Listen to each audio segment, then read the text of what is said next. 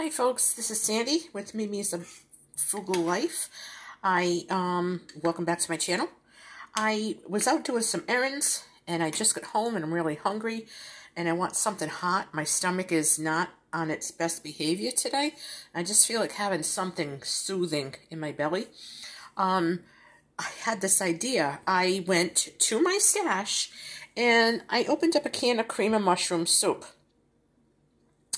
and I wanted it a little more hearty, and I'm trying to think of what can be kind of bland, but not too much.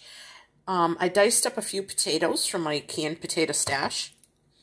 For a tiny little bit of flavor, I sliced one slice of an onion very thin, and I chopped it up fine. And I got it heating up on the stove, and it looks like it's just going to be a nice, creamy, comfort food kind of soup. Um, so then I'm thinking, okay, well, what else do I have around that I could throw in this, you know?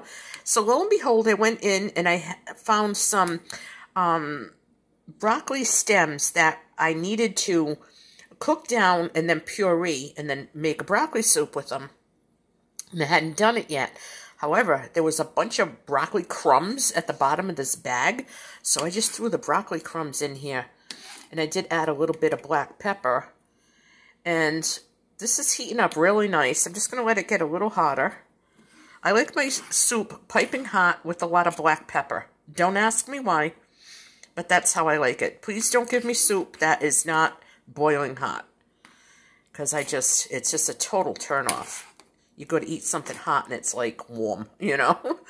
so, this is what I'm going to be having. This is a midday meal. I don't really know. I, I haven't had much of an appetite today.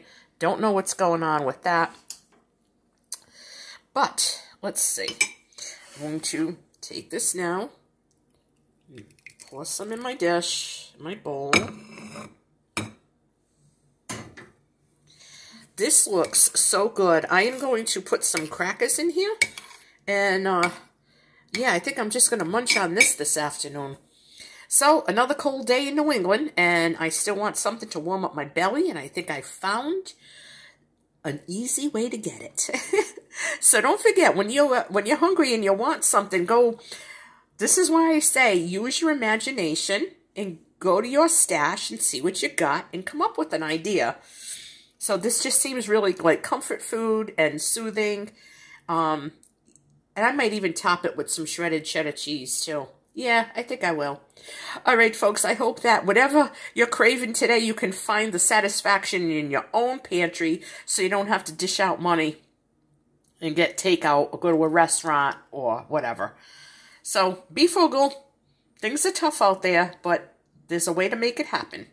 If you like my video, if you find it interesting, please give me a thumbs up. And if you'd like to join my YouTube community, all you have to do is hit that subscribe button. Bye-bye.